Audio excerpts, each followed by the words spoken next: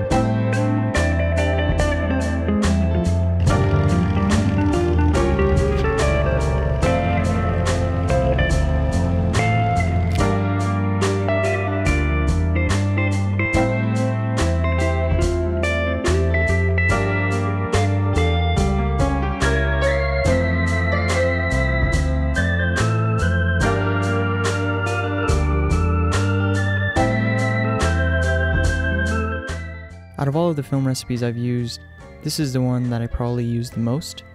I just really like the blue and green tones that come out of it, and the punch of contrast that it has. It makes skin tones look very filmic, especially when overexposed a stop or two.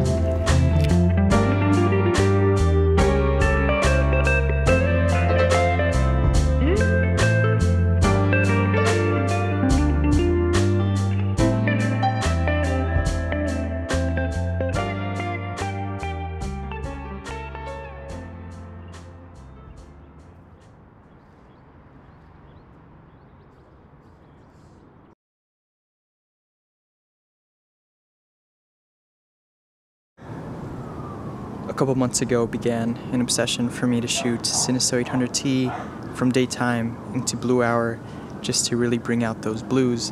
And I've been working to create a Fujifilm recipe to sort of mimic that look. And I'm really happy with the results I've gotten so far. I find it works best in shade or cloud, wherever there is no direct sunlight.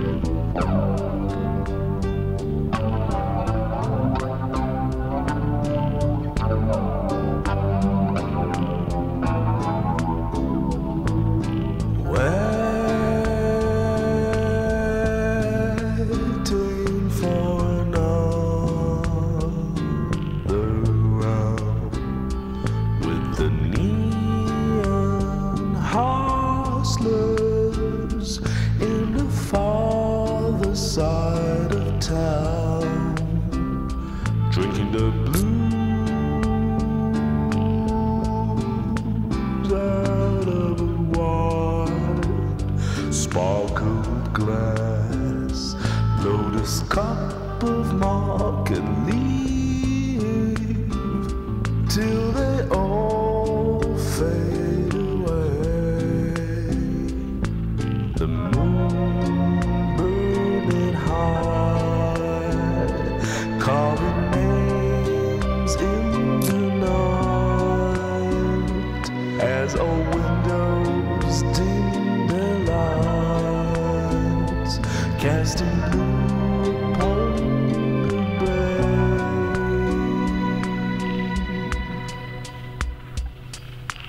into